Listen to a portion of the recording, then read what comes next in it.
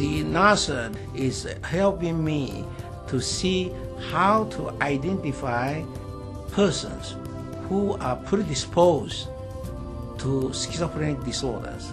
So what we are trying to do is to discover the illness as early as possible and also to find the treatment methods to intervene and ultimately to prevent the illness to occur. In terms of the breakthrough discovery, which are supported by NARSAD, we concentrate on what are the genetics and environmental factors which predispose a person to be manifesting prodromes. That is very important to study. Now we know it is not just the genetics. Environmental factors is also very important. To prevent the illness, we are doing intensive study to see which genes are actually involved.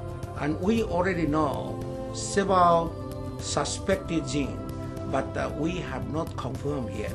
If one we can confirm one with a genetics component could be confirmed, we can identify these patients carry the predisposition to develop schizophrenia.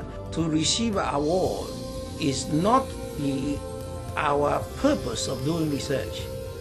I consider to receive award is just to appreciate what uh, we have done uh, for the discovery. But one important thing that uh, these awards are always decided by a committee of our peers. And our peers recognize what uh, you are doing is really contributing to the treatment and prevention of mental illness.